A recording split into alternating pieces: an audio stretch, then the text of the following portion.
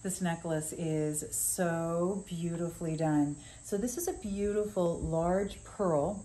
And then around that you have this gorgeous like a cage, a covering of this lattice work of flowers. We have it in the rose, the white, or the yellow. I think it is one of the most beautiful, creative, amazing things I've seen. It takes that simple pearl necklace and it makes it so not simple absolutely, absolutely beautiful. I love when someone takes a pearl and makes it completely fresh and new. That is exactly what they did with this one for you. This is one of those that I guarantee people are gonna look at and go, oh my gosh, uh, wow, how'd they do that, right?